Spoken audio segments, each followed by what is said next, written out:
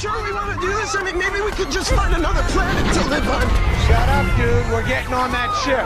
And the only way to do that is to get directly under it.